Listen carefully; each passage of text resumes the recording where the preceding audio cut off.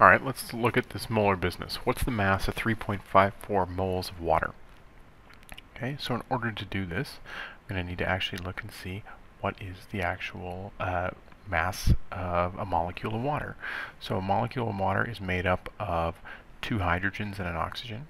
Each of the hydrogens has a mass of 1.01, okay, and the oxygen has a mass of 16. So one water molecule has a mass of 18.02 grams uh, atomic mass units, or one mole of water has a mass of 18.02 grams. So 3.54 moles of water. Right, we're going to let unit conversions handle this. Okay, grams of water needs to be in the numerator so that moles of water can be in the denominator and therefore be eliminated from the problem.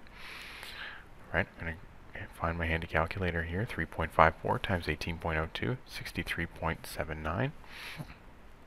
Okay, 63.79 grams of water is the same as saying 3.54 moles of water.